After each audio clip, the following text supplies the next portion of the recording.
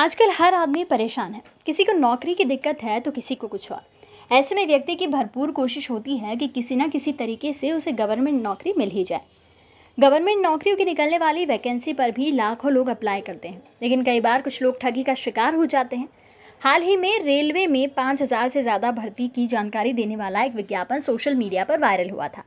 ये विज्ञापन एफ्स्ट्रान इन्फोटेक नाम की कंपनी की ओर से जारी हुआ था।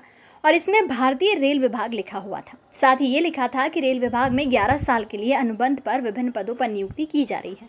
आवेदन केवल ऑनलाइन माध्यम से भरे जाएँगे एवं प्रत्येक नियुक्ति साक्षात्कार के आधार पर की जाएगी। इसकी आखिरी तारीख 10 सितंबर बताई गई थी। फॉर्म भरने की फ़ीस सात सौ पचास थी। वहीं ये भी बताया गया था कि 18 से 40 साल तक के लोग आवेदन कर सकते हैं। खाली पदों की संख्या पाँच हज़ार दो सौ पचासी बताई गई थी। साथ ही साथ आवेदन करने के लिए www.astran.in वेबसाइट का पता दिया गया था। इसके अलावा कोई भी कॉन्टैक्ट नंबर नहीं दिया गया था। विभिन्न पदों के बारे में कहा गया था, जिनमें वेल्डर कैबिन मैन चपरासी गेटमैन कनिष्ठ सहायक बुकिंग क्लर्क नियंत्रक और कैंटीन सुपरवाइजर के पदों के लिए वैकेंसी बताई गई थी।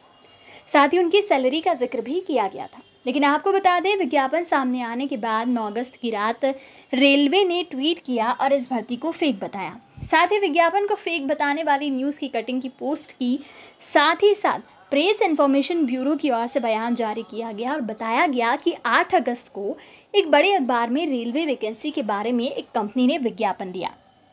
जब इसकी सूचना मिली तो आपको बता दें कि रेलवे में किसी भी तरह की भर्ती, भारतीय रेलवे ही करता है। किसी भी प्राइवेट एजेंसी को ये काम नहीं दिया जाता। इसलिए अखबार में जो विज्ञापन छपा है, वो झूठा है।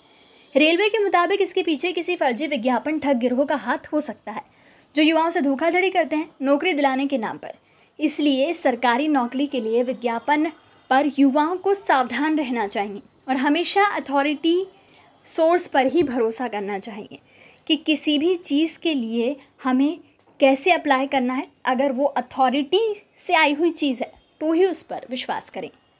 आप देख रहे हैं घमासान डॉट कॉम।